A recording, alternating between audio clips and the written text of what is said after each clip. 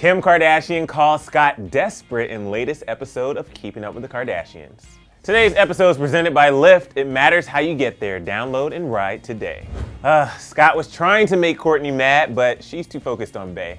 We all know that Scott and Kourtney have a complicated and troubled relationship.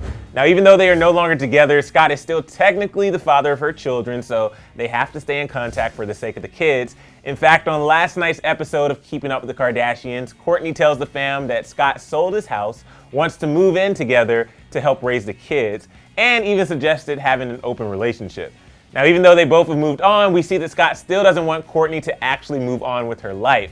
Kourtney was preparing to go on a trip to Cannes with her boyfriend Younes Bendjima and Kendall Jenner, but Scott was not having it. He's like, You're gonna have a great time. And then he's threatening me now. He's like, Your little friend is gonna get beat up every single day when we're there. He goes, enjoy yourself walking around. You better watch your back. And I'm like, oh, are you gonna have people attack me? Later on, we see that Scott and then rumored girlfriend Bella Thorne were photographed together at LAX on their way to Cannes, and Kim Kardashian had a lot to say. They look so desperate at the airport. Like, who goes to LAX together?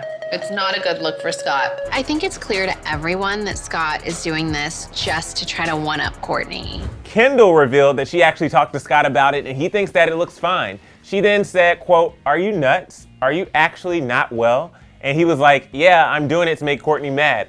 I said, you're not going to make her mad for the right reasons. Scott is currently dating Sofia Richie, and earlier this month, a source told TMZ that Kourtney is happy for him because she, quote, thinks it's genuine and feels good that he's moving on.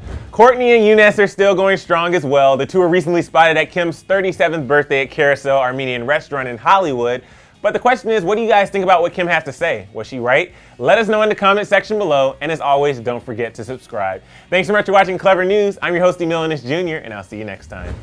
And then click to the left to see how Kim reacted to Taylor Swift's Ready For It music video, and to the right to find out when Kim's surrogate is due. This episode was presented by Lyft. It matters how you get there. Download and ride today.